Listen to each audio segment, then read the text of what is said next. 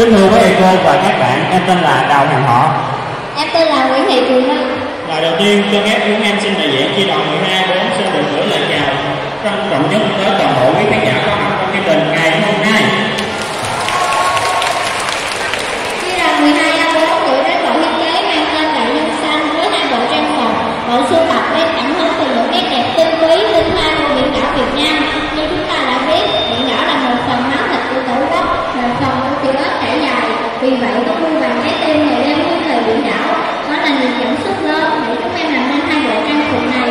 Hai bộ trang phục lấy gam màu chủ đạo là xanh và trắng với những chất liệu tái chế từ túi ni lông, sợi ni lông và giấy đã qua sử dụng.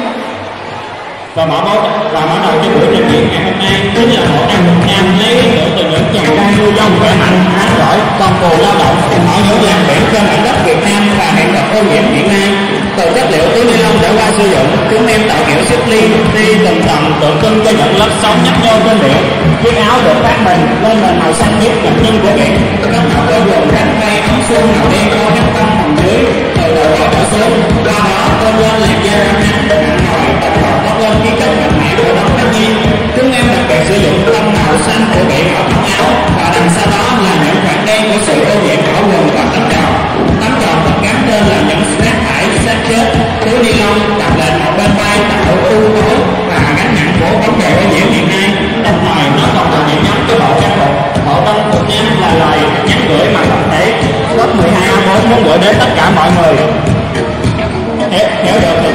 Amen.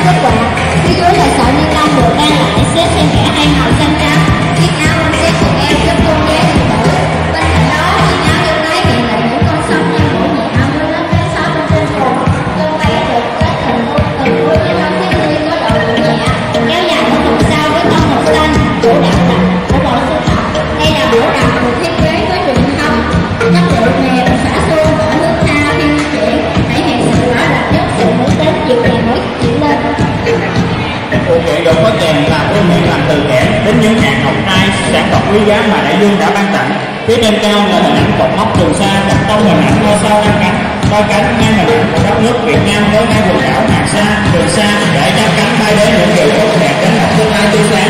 Bộ sư hậu là sự kết hợp hoàn hảo giữa phong cách thiết kế và ý nghĩa. Vùng biển nước ta đang bị đe dọa bởi rác thải nhựa, đèn dầu, xe một phần trên do ánh sáng. Vô vàng bóng đời làm cho màu đen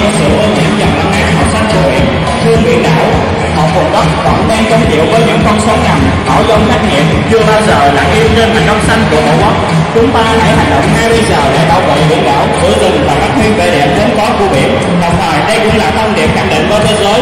Việt Nam là quốc gia biển có trách nhiệm cùng cộng đồng quốc tế nỗ lực giải quyết những vấn đề về biển và hải đảo, nỗ lực bảo vệ biển và đại dương, góp phần chung tay bảo vệ đại dương xanh và hành tinh xanh vì một Việt Nam tươi đẹp.